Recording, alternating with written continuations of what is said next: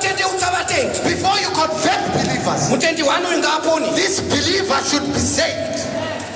rega kutarisa pasi mukosha. Tati mutendi wani uyu. I say this believer ndiye anofanira kupona. should be the first to usati believer. watisha munengwe njinga. Before you speak in tongues, uku ngakuti kariye hotepe